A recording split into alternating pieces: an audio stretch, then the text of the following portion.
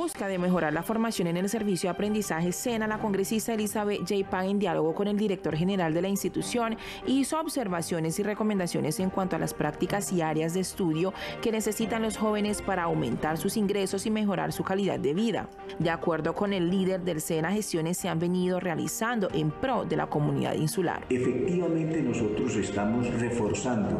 las inversiones, los programas, estamos modernizando los ambientes de formación, estamos actualizando los currículos y como usted bien lo ha dicho Elizabeth y como insistentemente durante estos cuatro años, porque debo reconocer que Elizabeth ha sido una persona insistente en mejorar, en reforzar, en impulsar, en que el SENA destine mayores recursos a ese importante territorio colombiano. El director general del SENA se refirió al convenio que busca la institución poder firmar con la gobernación departamental, este con el objetivo de materializar los sueños de los isleños y crear nuevas empresas que generen empleo en las islas. Señor gobernador, coloque usted un peso y el SENA coloca dos. Eh, Elizabeth, espero que por fin eh, el 21 de junio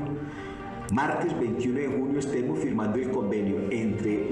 de San Andrés y el SENA. De igual manera reitero el hecho de que en la isla de San Andrés es sumamente importante y necesario retomar la vocación agrícola y en este caso se busca reforzar ampliamente esas áreas dentro de la institución y la alianza con los cruceros que actualmente demanda personal humano, actividad que genera una fuente de ingreso que fortalezca la calidad de vida de los colombianos, especialmente los isleños.